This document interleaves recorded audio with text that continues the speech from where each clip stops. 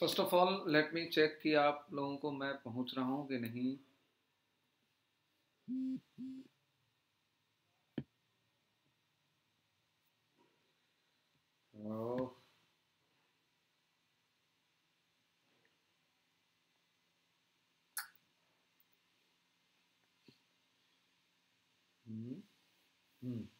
Yes शुरू हो गया। चले बच्चों फ़र्स्ट ऑफ़ ऑल मैं आपको बता दूँ कि ये जो लाइव स्ट्रीम हो रहा है, हमारा Unacademy warriors official YouTube channel है, उसी के माध्यम से हो रहा है। Am very very thank you to our team इतना बढ़िया आप लोग सारी एक्सक्यूट कर पाते हैं, ठीक है ना? यहाँ पर देखिएगा all those who are here सबसे पहले मैं आपको बैच का इंफॉर्मेशन दे देता हूँ। बैच का इन्फॉर्मेशन जो है, देखिएगा प्राइसिंग प्लान तो आपको पहले ही दिया है। मैंने सबसे पहले पैसे की बात की है।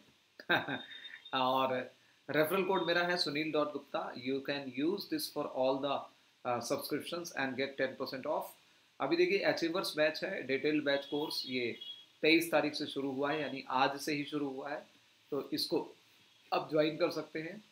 यहाँ पर देखिएगा, इसमें पूरी बेस्ट फैकल्टीज ग्रुप है, जिसमें जनरल स्टडीज़ मेरा क्लास होगा। आज मैं एक बहुत बेहतरीन टॉपिक लेके आया हूँ। आपको पता है five days five topic and जो है फाइव पीएम का चल रहा है कोर्स हमारा। जैन तो आप लोग आइएगा।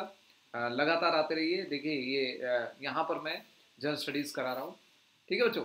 तो शुरू करते हैं। आज का आज का टॉपिक जो है, बहुत इंपॉर्टेंट टॉपिक है हमारा, शुरू होगा। तो ये जनरल स्टडीज़ का पूरा कोर्स जो है, तीन महीने का अगर आप लेते हैं तो चार हज़ार का कोर्स पड़ता है। और अगर छः महीने का लेते हैं, चौंसठ सौ का कोर्स पड़ता है और एक साल का आठ हज़ार का, इसमें टेन परसेंट ऑफ़ हो जाएगा when you use the code ये S U N I L dot G U P T A कोई स्पेस नहीं, बिना स्पेस के यूज़ करिएगा टेन परसेंट ऑफ़ मिल जाएगा।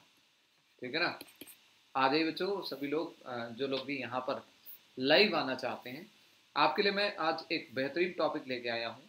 आप लोग ये टॉपिक का इंतज़ार कर रहे थे शायद। ठीक है ना? और टॉपिक है wildlife and its protection protection ठीक है ना? वाइल्ड लाइफ यानी कि वन्य जीव जो होता है, उसके प्रोटेक्शन की बात हो रही है। टॉपिक बहुत बेहतरीन है। जो लोग भी आए, उनको बता दीजिएगा। आप ले आप लोगों के जो जितने भी फ्रेंड्स हैं, उनको बता दीजिएगा। बहुत अच्छा टॉपिक आज मैं कराने जा रहा हूँ। ठीक है? Wild life and its protection वन्य जीव यानी कि इसका टॉपिक का नाम होता है वन्य जीव और उसका संरक्षण। लगातार इस टॉपिक के बारे में बच्चे डिमांड करते रहते थे। जय हिंद जय हिंद। ठीक है ना? तो इस टॉपिक को हम शुरू करने जा रहे हैं। ठीक है ना? तो आप देखेंगे, सबसे पहले मेरे बारे में आपको पता होना चाहिए, मेरा नाम सुनील कुमार गुप्ता है और वेरीफाइड प्लस एजुकेटर हूँ इस कैटेगरी का। और मेरी क्वालिफिकेशन आप देख सकते हैं मास्टर्स और NET JRF S S B दिया है N D S C D S का, चौदह साल का टीचिंग एक्सपीरियंस है। और अन अकेडमी जून 2019 से मैंने ज्वाइन किया हुआ है और प्लस एजुकेटर के रूप में आप लोगों की सेवा कर रहा हूँ। आज का जो अगला टॉपिक है अगला मतलब देखिए, मेरा प्रोफ़ाइल को फॉलो कर लेना बच्चे। आप प्रोफ़ाइल फॉलो करेंगे तो आपको सारा अपडेट्स मिलता रहेगा। ठीक है, ये जानबूझ के मैं सारे देखे, कर देता हूँ काम। अचीवर्स बैच एक चल रहा है, आप सबको पता है। जो लोग नहीं जानते उनको बता दूँ। अचीवर्स बैच चल रहा है, जिसमें मैं क्लासेस ले रहा हूँ, ठीक है बच्चे? इसके अलावा आप, अगर देखें, एक और बैच चल रहा है, अशोका इसमें भी मेरा क्लास चल रहा है, ठीक है ना? आप लोग इसको भी ज्वाइन कर सकते हैं। और इनडोमिटेबल फ़िलहाल 8:30 पीएम पर रात में चल रहा है। 8:30 पीएम पर ये बैच चल रहा है, आप लोग इसको भी ज्वाइन कर सकते हैं। इसके बाद देखिए, प्रहार बैच है, एक है प्रहार बैच उस पर भी आप क्लास ले सकते हैं। देखिएगा, कोई भी अगर आपको प्लस कोर्स सब्सक्राइब करना है क्लियर कट में बता रहा हूँ बच्चे, कोई भी प्लस कोर्स सब्सक्राइब करना है तो सुनील डॉट गुप्ता, ये कोड लिख लीजिए। कोर्स कोई कोड राजदीप हाय हाय हाय बच्चे। कोर्स कोई भी कोड एक ही, ठीक है रेफरल कोड इनवाइट कोड में। आज का टॉपिक शुरू होता है वाइल्ड लाइफ यानी कि वन्य जीव के बारे में। अब देखिए, ये टॉपिक बहुत बहुत बहुत बेहतरीन टॉपिक है। हाउ टू ज्वाइन प्लस देखिएगा अन अकेडमी का ऐप जो है डाउनलोड करिए। आपके पास ऐप है ना फ़ोन में। एप्लीकेशन है। इस एप्लीकेशन में जाइए और इस एप्लीकेशन में सब्सक्राइब नाउ करके आता है ग्रीन कलर का। ठीक है ना? हाँ सब्सक्राइब नाउ है। इस पर जो है, आप करिएगा। और उस सब्सक्राइब नाव के पर जब करेंगे, आप क्लिक तो उस सब्सक्राइब नाव पर क्लिक करने पर आपको पेज आ जाएगा फ़ीस का। ठीक है ना? तीन महीने छः महीने, एक साल, दो साल जो भी है, जैसा भी आएगा पेज आ जाएगा और उसके अकॉर्डिंग आप ज्वाइन कर सकते हैं। प्लस कोर्स के बारे में ही बता रहा हूँ बेटा राजदीप। प्लस कोर्स आप ज्वाइन करना चाहते हैं तो प्लस कोर्स के लिए जो है आपको जब भी जो है प्लस कोर्स अपना जो है एडिशनल कोर्स है, बढ़िया कोर्स होता है, ठीक है ना? और उसमें जो है आपको कर देंगे। चलिए करिए प्लस पर आ जाइए प्लस प्लेटफॉर्म पर आइए। अगर कोई दिक्कत होती है तो मुझे आप बताइएगा, ठीक है ना? समझ में आया बच्चे?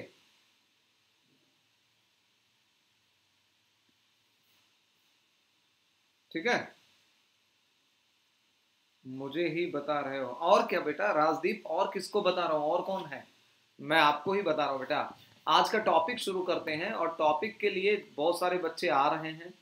तो टॉपिक है आज का वाइल्ड लाइफ और वाइल्ड लाइफ का प्रोटेक्शन किया जा रहा है five days five topics at five P ये चल रहा है हमारा। और इसमें जो है आज थर्ड डे है। याद रखिएगा मंडे टू फ्राइडे आपकी क्लासेस चलेंगी इसमें।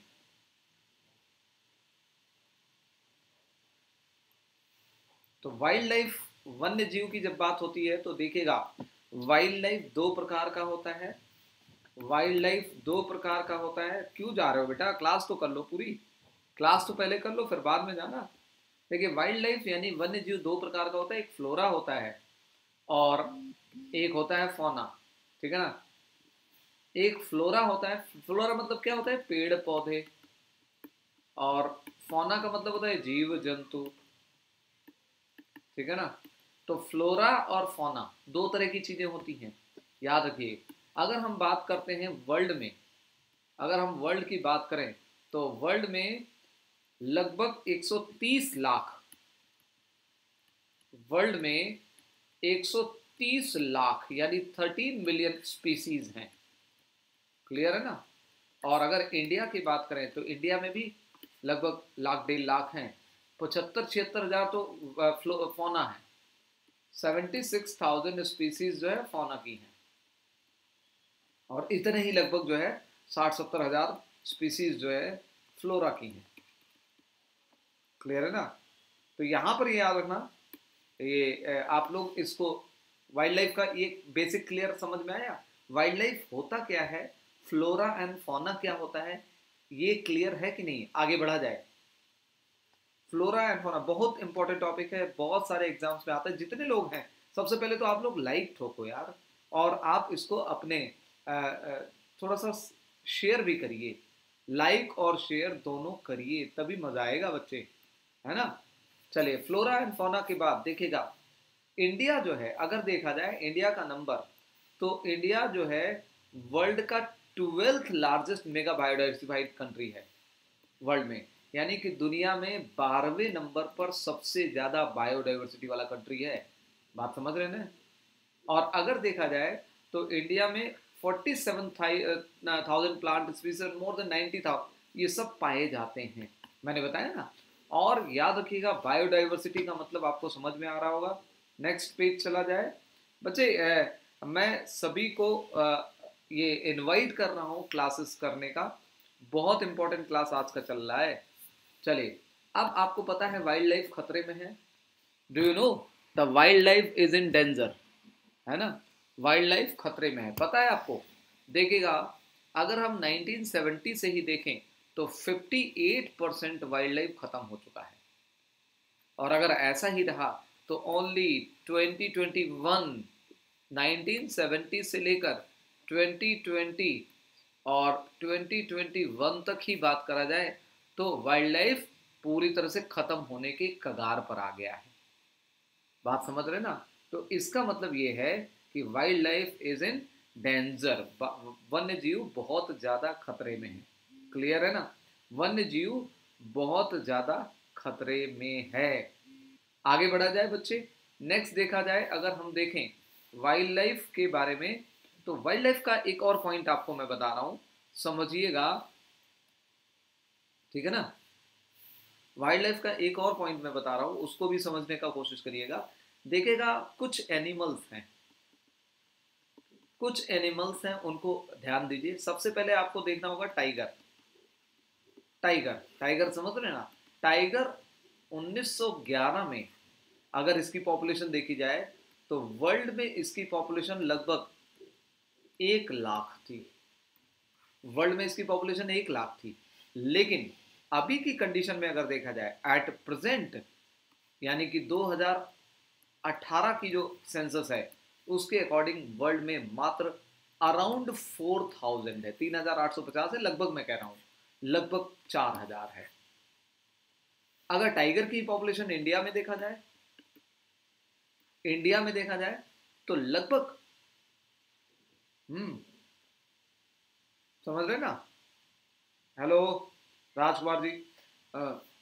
यहाँ पर देखिएगा, अगर इंडिया में देखा जाए टाइगर की पॉपुलेशन तो 1911 में लगभग two third of one lakh यानी sixty seven thousand tigers were there in India और ये 2018 के टाइगर सेंसस तक लगभग 2967 के करीब टाइगर्स रह गए हैं।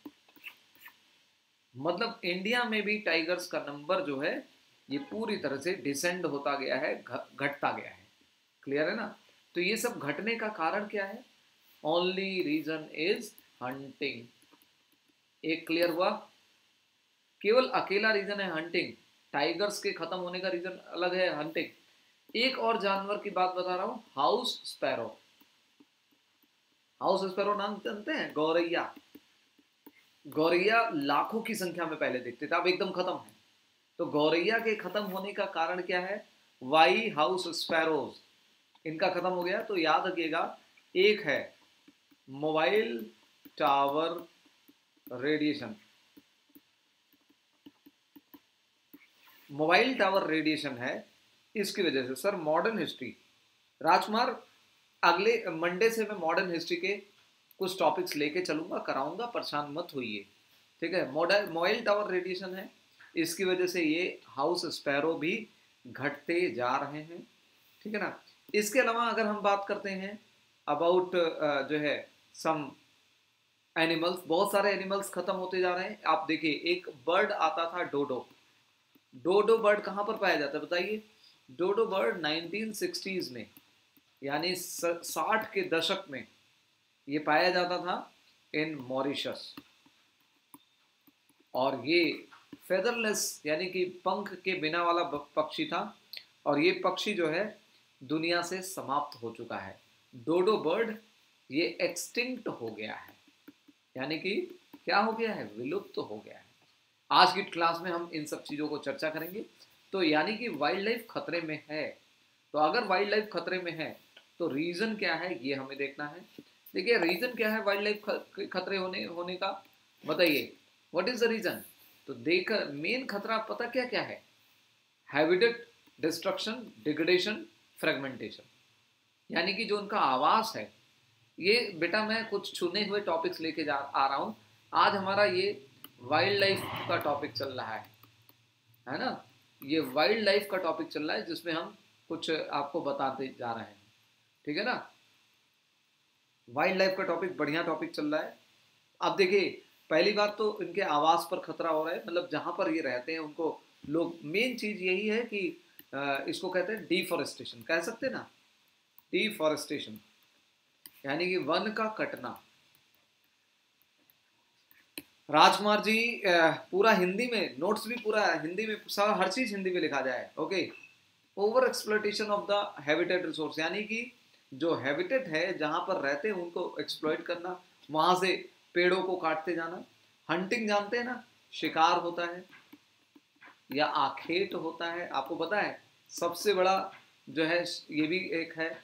और poaching climate change pollution poaching भी यही है, अतिक्रमण होता है। पोचिंग मतलब क्या होता है? अतिक्रमण। तो ये सब चीज़ें जो होती है, ठीक है ना? ये सारी चीज़ें जो है, क्या है? वाइल्ड लाइफ वन्य जीव के लिए खतरा होती है बात समझ में आया? आगे बढ़ा जाए। देखेंगे नेक्स्ट देखिएगा, ये सारी चीज़ें हमें परेशान करती है वाइल्ड लाइफ को हमारे परेशान करती हैं। ठीक है ना? अब देखेंगे पॉइंट इसको समझने का कोशिश करिएगा कि हमारे संविधान में कॉन्स्टिट्यूशन में, संविधान में वाइल्ड लाइफ को बचाने के लिए क्या एफर्ट किए गए हैं, क्या पॉइंट लाए गए हैं। देखिएगा, हमारा जो संविधान है वो संविधान में पहला तो आर्टिकल 48 ए और आर्टिकल 51 ए। ये आर्टिकल 48 आपको पता है, ये जो है बयालीसवें संविधान संशोधन से जोड़ा गया और ये भी बयालीसवें संविधान संशोधन से जोड़ा गया है। ठीक है, दोनों का मतलब क्या है? आर्टिकल 48 ए हो, चाहे आर्टिकल 58 ये फंडामेंटल ड्यूटी है। हमारी ड्यूटी है कि हम natural environment forest, lake wildlife इन सबको बचाएँ। और 48 ए में डीपीएसपी है सरकार की जो है डायरेक्टिव प्रिंसिपल दिया गया है स्टेट अपनी ऐसी पॉलिसीज़ बनाए जिससे इनको फ़ायदा हो। क्लियर है ना? आगे आगे चलते हैं। नेक्स्ट पॉइंट जैसा कि आपको देखते हैं, सरकार ने क्या किया है? बताइए, सरकार ने वाइल्ड लाइफ को बचाने के लिए क्या किया है? देखिए, सबसे पहली बात तो वन्य जीव संरक्षण अधिनियम। याद रखना, ये पॉइंट याद रखिएगा। सरकार ने वाइल्ड लाइफ प्रोटेक्शन एक्ट 1972 लाया है और इसी के द्वारा ही national park wild life sanctuaries वगैरह बनाए गए हैं। प्रोजेक्ट टाइगर भी बनाया गया है और इसी की वजह से देखिए 30 परसेंट टाइगर की पॉपुलेशन बढ़ती गई है। 1400 से बढ़ के आज जो है, ये दो हज़ार तीन हज़ार के करीब हो गए हैं। चौदह से बढ़ सौ से बढ़ के ये तीन हज़ार के करीब टाइगर्स की संख्या हो गया है। देखिए, ये बात समझ लीजिएगा, ठीक है ना? अगला पॉइंट देखा जाए वाइल्ड लाइफ प्रोटेक्शन एक्ट है क्या?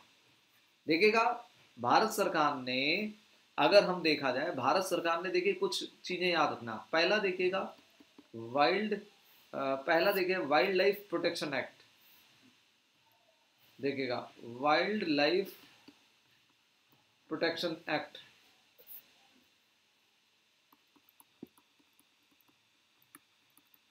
यानी वन्य जीव संरक्षण अधिनियम कब बनाया गया है? वन्य जीव संरक्षण अधिनियम। पता नहीं क्यों आ जा रहा है। बोर्ड ही चेंज हो जा रहा है। वाइल्ड लाइफ प्रोटेक्शन अधिनियम 1972 में आया है। इसके अलावा आपसे क्वेश्चन और आता है, forest protection act. Virender Sehwag लो यानी वन संरक्षण अधिनियम।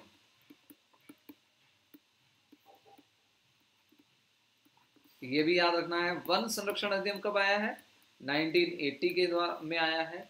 और एक है एनवायरमेंट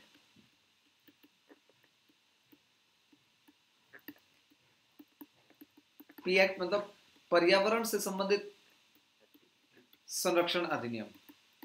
अब बताइए इन्वायरमेंट प्रोटेक्शन एक्ट कब आया है? यस हेलो ये है 1986 में। तो ये तीन इंपॉर्टेंट एक्ट हैं, कानून हैं, जिनके सहारे भारत सरकार ने भारत के वाइल्ड लाइफ को इन्वायरमेंट को बचाने का ट्राई किया है। और इसके लिए बहुत सारी चीज़ें और की गई हैं। अब देखिए, एक और आप बात याद रखिएगा ये ये सब चीज़ें आपको पता होना चाहिए। ठीक है ना? ये सारी बातें आपको क्लियर पता होना चाहिए। यहाँ से क्वेश्चन सीधे सीधे आएगा। अभी देखिए 1986 और 1972 1980 ये तीनों पर क्वेश्चन बना हुआ है। प्रीवियस ईयर उठा के देखिए और यहाँ से क्वेश्चन मिलेगा आपको, ठीक है ना? आज के जो है टॉपिक में यही मैं बता रहा हूँ। वाइल्ड लाइफ का प्रोटेक्शन ठीक है ना? तो आप लोग इसको ज्वाइन कर सकते हैं। आप मेरे बैचेस को ज्वाइन कर सकते हैं प्लस बैचेस को ज्वाइन कर सकते हैं, ठीक है ना? इसके बाद अगला पॉइंट देखा जाए।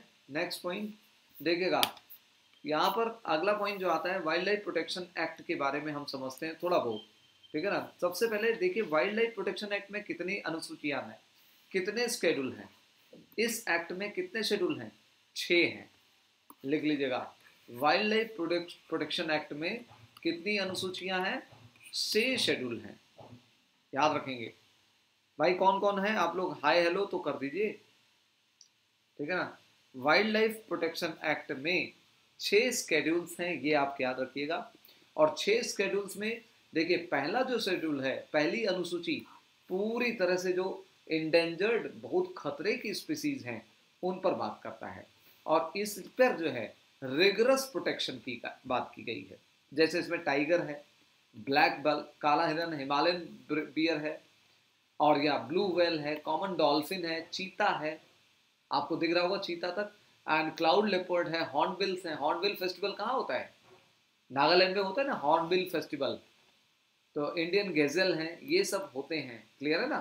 तो इन सबको जो है, बहुत ज़्यादा एक्सट्रीम जो है कंडीशंस की ज़रूरत होती है बचाने की। क्लियर है ना? तो ये नंबर वन शेड्यूल में, पहली अनुसूची क्लियर है ना? अब देखिए कि दूसरी अनुसूची अगर देखा जाए तो इसमें भी एनिमल्स जो हैं, उनको हाई प्रोटेक्शन की ज़रूरत है इनके व्यापार को भी रोका गया है। लेकिन अगर ह्यूमन लाइफ पर इनका जो है आ जाए, लेकिन स्केड्यूल अलग है, अनुसूची अलग है, लेकिन है बात वही। जैसे इसमें कोहिनूर आता है Assamese macaque Bengal Hanuman langur large Indian civet Indian fox large Kashmiri flying squirrel Kashmiri fox वगैरह। इन दोनों का अंतर याद रखना बस।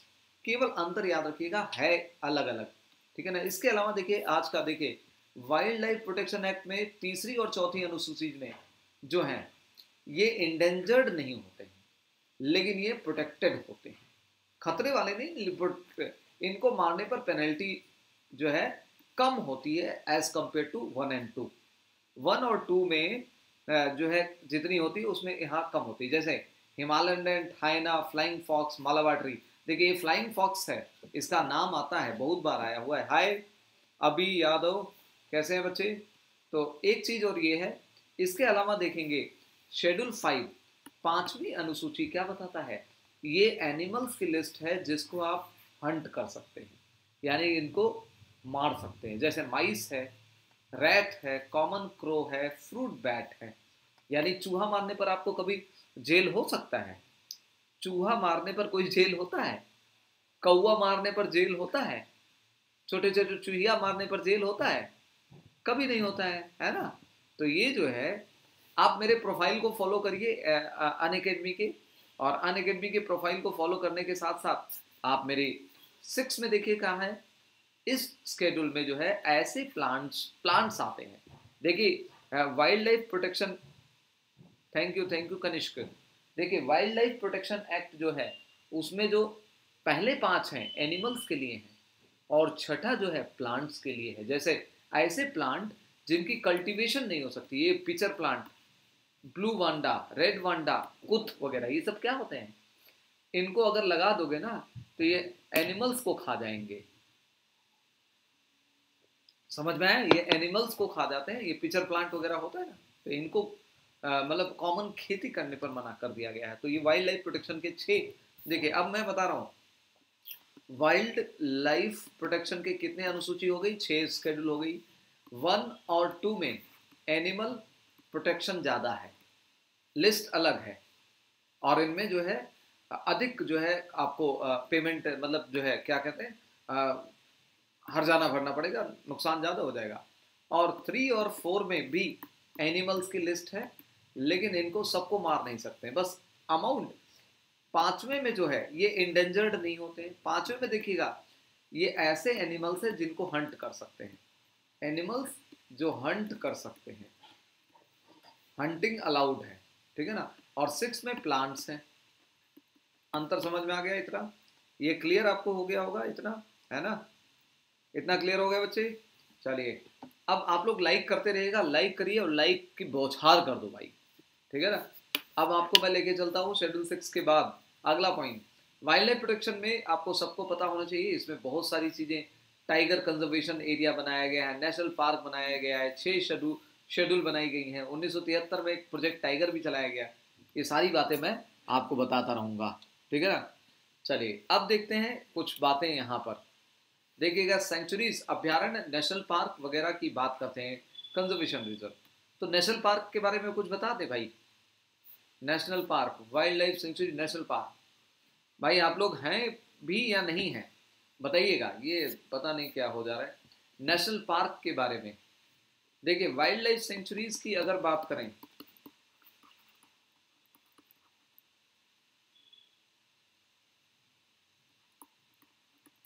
वाइल्ड लाइफ सेंचुरीज की अगर बात करा जाए तो आपको पता होना चाहिए वाइल्ड लाइफ सेंचुरीज कितने हैं।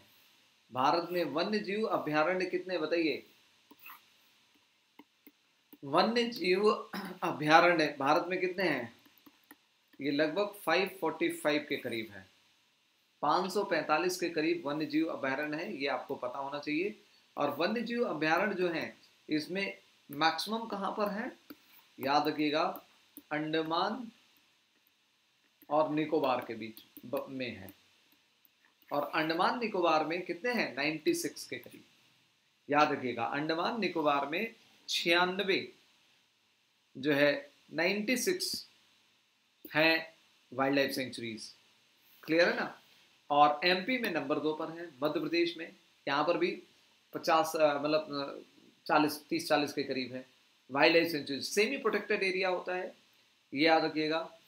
इसके अलावा अब मेन आता है नेशनल पार्क ये बहुत इंपॉर्टेंट पॉइंट है।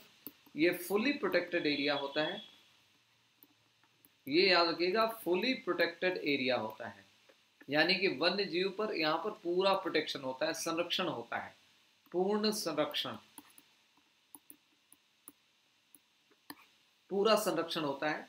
नेशनल पार्क की संख्या इंडिया में 103 है, चार है 104 नेशनल पार्क इंडिया में कितने हैं? 104 है। क्लियर है ना?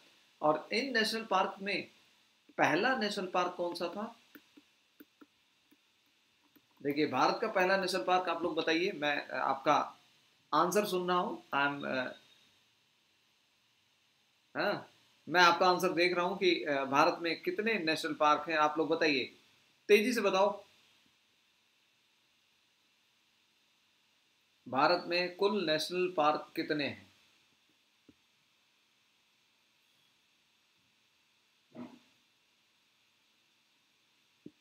बताइए। तेज बताइए। नहीं बताएँगे। भाई, सभी लोग बता दो यार। भारत में कुल नेशनल, पहला नेशनल पार्क देखिएगा। ये पहला वाला नेशनल पार्क है। इसका नाम है the Hailey National Park.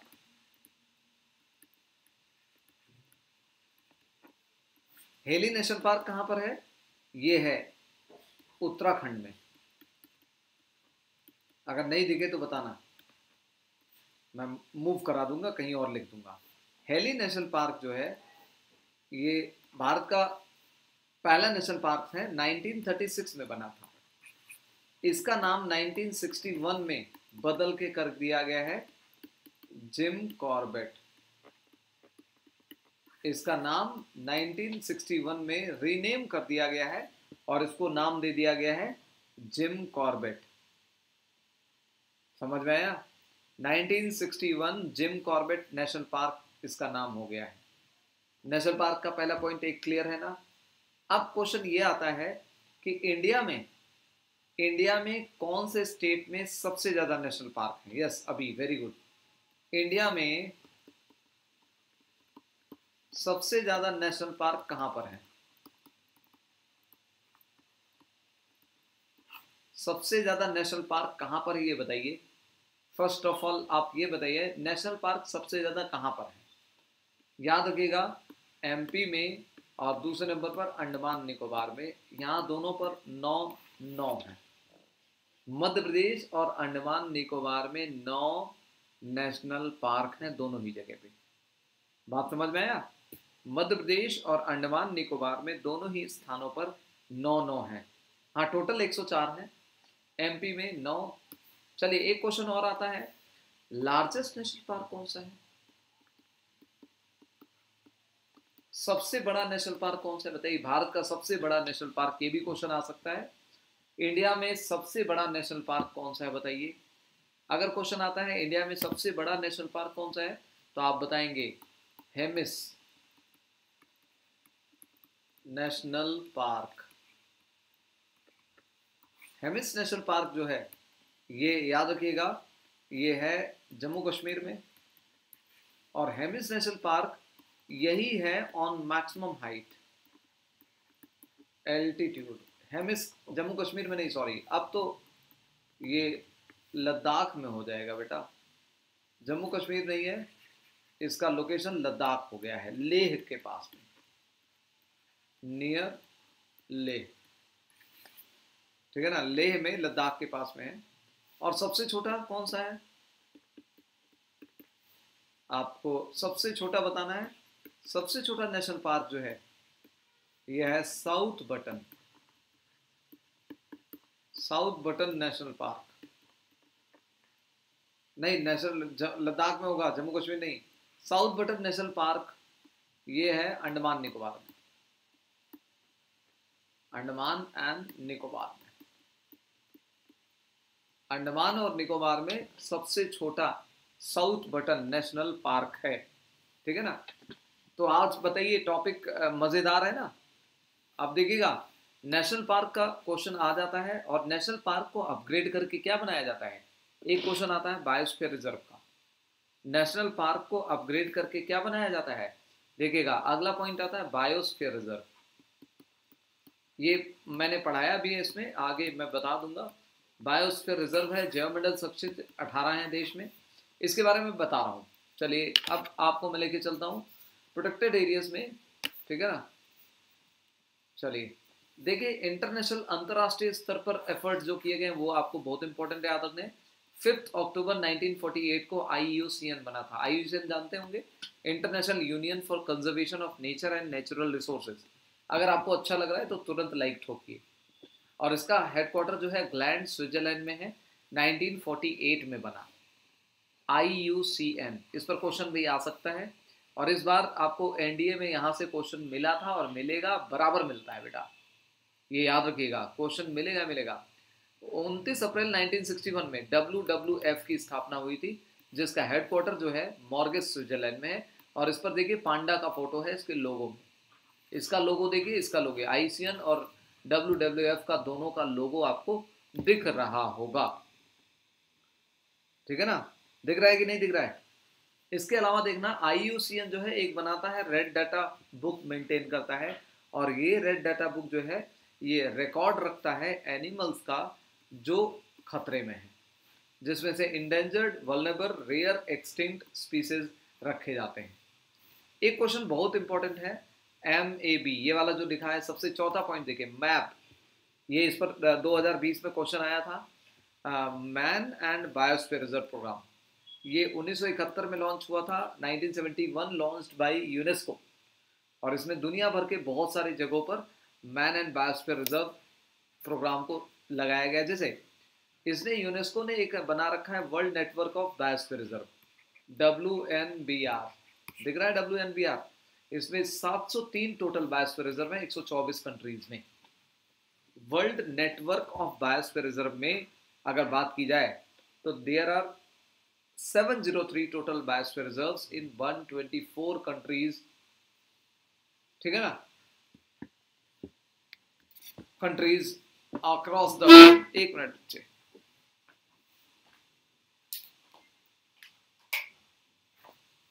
पूरे ग्लोब में हाँ।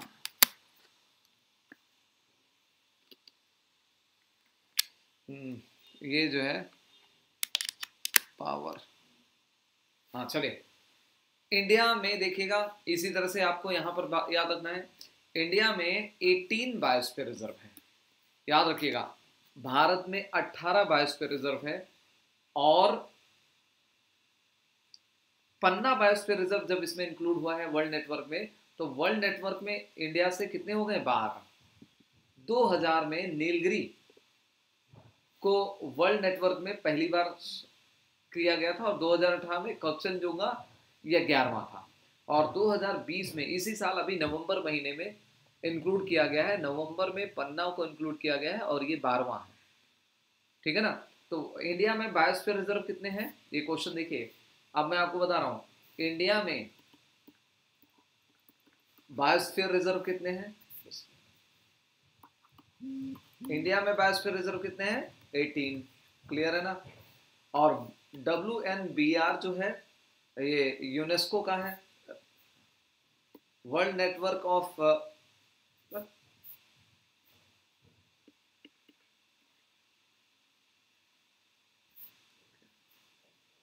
यूनेस्को का world network of biosphere reserve जो है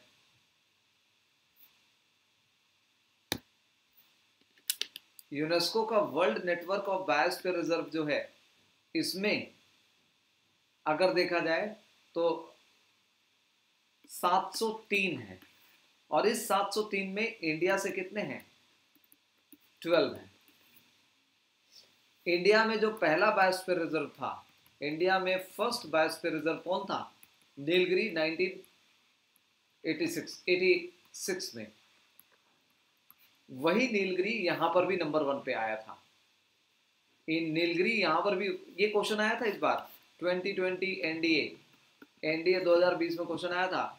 और वर्ल्ड नेटवर्क में इंडिया से ट्वेल्थ कौन है?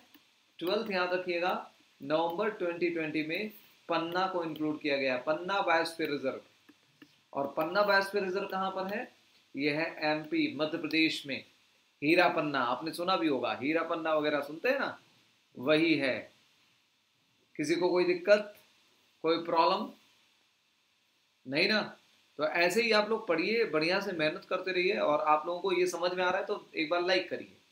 तो world network of biosphere reserve जो मैंने बताया, और world network of biosphere reserve में देखिएगा 2018 में खक्सन जोगा आया था 2020 में पन्ना आया था, नवंबर 2020 में।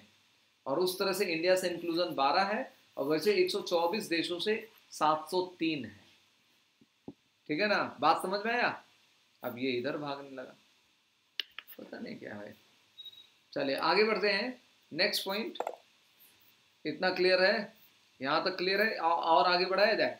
देखिएगा, ये ट्वेल्व हैं बायोस्फीयर रिज़र्व जो इंडिया के हैं। इसमें मैन एंड बायोस्फीयर रिज़र्व में मैप में आते हैं। ये इंडिया के। पहला जो है नीलगिरी है, फिर गल्फ ऑफ़ मन्नार आया सुंदरबन नंदा देवी नौकरे पंचमढ़ी सिंडीपाल असनाकमार अमरकंटक ग्रेट निकोबार अगस्त्य मलाई और ये खक्सिन जोंगा 2018 में और पन्ना बायोस्फीयर रिज़र्व 2020 नवंबर महीने में। अभी ये दिसंबर चल रहा है ना, मैं नवंबर की बात कर रहा हूँ तो ये पूरा आपको याद होना चाहिए। यानी कि इंडिया में टोटल कितने बायोस्फीयर रिज़र्व हैं? यूनेस्को के डेजिग्नेशन में यूनेस्को के अंडर में रख दिए गए हैं। दे आर ट्वेल्व ठीक है ना? चलिए, आपको बहुत अच्छा एक और टॉपिक बताने जा रहा हूँ, आप समझिएगा। एक बहुत अच्छा टॉपिक बताने जा रहा हूँ। और बायोस्फीयर रिज़र्व की इंडिया की 18 की लिस्ट है। देखिए इंडिया की बायोस्फीयर रिज़र्व 18 की लिस्ट है। पहला जो नीलगिरी, तमिलनाडु, केरल, कर्नाटक का पहला था 1986 में, और नंदा देवी उत्तराखंड में और नोकरेक, ये दोनों 1988 में थे। ये क्लियर है ना? चलिए, अब आप आज के लिए बस इतना ही रहने दें। 18 के 18 बायोस्फीयर रिज़र्व यहाँ पर बताए गए हैं। ठीक है ना? प्रोजेक्ट्स वगैरह तो आपको अगली क्लास में कुछ और बताऊँगा। ठीक है ना? तो इतना आप लोग पढ़ लीजिए। मेरे पास बहुत सारा मैटर है। मैं आपको बहुत सारी चीज़ें मैं बता सकता हूँ। ये सारी चीज़ें जो मैंने बताया, वो एक बार देख लीजिएगा। अगर कहीं कोई दिक्कत होती है, बता बताइएगा। आप इसी तरह से और बढ़िया पढ़ना चाहते हैं तो हमारे प्लस कोर्सेज को ज्वाइन करिए। और प्लस कोर्सेज को ज्वाइन करने में आपको बता रहा हूँ। प्लस कोर्स ज्वाइन करने के लिए अगर आपको ज्वाइन करना है तो अन अकेडमी के प्लस कोर्सेज को ज्वाइन करने के लिए मेरा इनवाइट कोड रेफरल कोड है सुनील डॉट गुप्ता इस कोड को यूज़ करिएगा और कोड यूज़ करने पर आपको टेन परसेंट का एक्स्ट्रा बेनिफिट भी मिल जाता है। सब्सक्रिप्शन फ़ी जैसे चार हज़ार की है तो छत्तीस सौ हो जाती है। ठीक है ना? किसी को कोई मन में शक, सुबह हो तो बताइएगा। याद रखेंगे। ठीक है ना? किसी भी तरह की दिक्कत नहीं होनी चाहिए। बच्चे, अब यहाँ पर देखना प्रहार बैच मेरा चल रहा है NDA sorry air force X Y और नेवी के लिए ये हमारा चल रहा है। डेली और डेली चल रहा है शाम को सात बजे। इसके अलावा जब देखते हैं इंडोमिटेबल एट थर्टी पीएम पर हमारा चल रहा है ये। तो इसके अलावा एक और बैच आ रहा है अशोका और एक बैच आ रहा है अचीवर्स चार चार प्लस बैचेस चल रहे हैं लगातार और इन सारे प्लस बैचेस में मैं आपको जीएस पढ़ाता हुआ देखूँगा। जीएस देखेगा यहाँ पर भी है और यहाँ पर भी है जीएस क्लियर है ना? जीएस मैं ही पढ़ा रहा हूँ, पूरा जीएस जीएस मतलब बताया होता है हिस्ट्री है ज्योग्राफी है, और पॉलिटी है, यानी सिविक्स और इकोनॉमिक्स है। तो इन सभी बैचेस में आप मुझे देखेंगे और पाएँगे कि मैं आपको पढ़ा रहा हूँ। मेरा रेफरल कोड आपको मैं फिर से लिख दे रहा हूँ S U N I L dot G U P T A ये रेफरल कोड अगर आप मेरा यूज़ करेंगे तो ऐसा नहीं कि मेरा ही क्लास देख पाएँगे। आप ये जब यूज़ करेंगे तो ये बैच कोई भी बैच सारा बैच यूज़ कर सकते हैं, सारा देख सकते हैं। All the courses all the courses and all the batches मेरे यूज़ करने पर भी देख सकते हैं, ठीक है ना? प्लस ज्वाइन करिए, ठीक है ना? बच्चों, आज के लिए बस इतना ही। प्लस ज्वाइन करिए और मिलते हैं क्लास में। आप जल्दी जल्दी आप अन अकेडमी पर ऐप डाउनलोड करिए। ऐप डाउनलोड करने के बाद मेरा नाम सुनील कुमार गुप्ता। मेरी प्रोफ़ाइल फॉलो करिएगा। आपको बेहतरीन क्लासेस देने के लिए मैं सदा तत्पर रहता हूँ। सुनील कुमार गुप्ता नाम है और आपको रेफरल कोड भी मिल गया है। ठीक है ना? आज के लिए बस इतना ही रहने देते हैं बच्चों। फिर मिलते हैं आपसे। फिर किसी दिन। कल फिर क्लास पाँच बजे नए टॉपिक के साथ। ठीक है ना? ओके बच्चों। Thank you